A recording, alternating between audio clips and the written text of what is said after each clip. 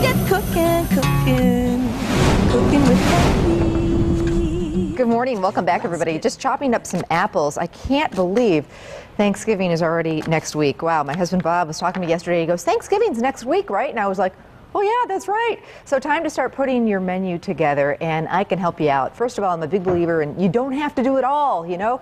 Uh, you can pick up the mashed potatoes, you can pick up the cranberry fluff and the pumpkin pie, but I do like to make um, a few certain dishes. And then also, every year, I like to change things up and do, you know, there's some things that if I don't make them, I'm going to get in big trouble because they're family favorites. But, you know, sometimes it's nice to add an additional stuffing to the stuffing that everybody always loves. So, this one is a winner. Everybody loves stuffing. Um, so, you can make, you know, grandma's stuffing and maybe make this one too. It's got apples and cranberries, and the best part about it, super duper easy. And stuffing just isn't a Thanksgiving thing, too. You know, this great goes great with uh, chicken breasts, Cornish game hens, pork chops. I started out and I've got two cups of fresh apple cider that I'm heating up, and one cup of chicken stock into a big skillet. I just want to bring that to a boil. A few tablespoons of butter. It is the holidays, but of course you could certainly cut back on that. But I'm with Rachel. I love, love, love stuffing. Now, to make this really quick and easy, and actually my kids really prefer this, the box stuffing. So basically I have two six ounce boxes of chicken flavored stuffing. It's already done for you. It's already seasoned up.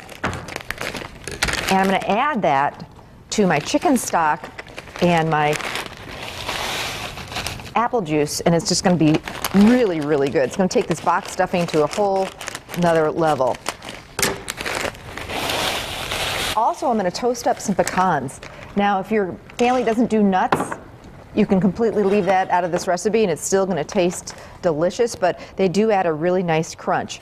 I've got two apples that I'm going to throw in with this stuffing. And I just go ahead and leave the skin on because I think it looks really pretty.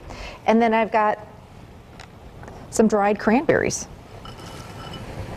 And I love dried cranberries, and I love cooking with cranberries during the holidays. You know, it's such a short season that anything I can put cranberries in, I do. So then you just toss this together, and if it looks a little dry, you can always add some more stock. In go my nuts. And you can make this ahead of time. And then, you know, you can stuff it in the bird. I usually do my stuffing on the side in a casserole just, just to warm it up. You can drizzle a little bit more butter on the top. And let me tell you, it is so, so good. Let me show you. We just put it in the oven because I like to get a little bit crisp on top, drizzle a little more butter and but it's also just great right out of the skillet. Pick up a rotisserie chicken even and just serve this wonderful apple cranberry stuffing with it.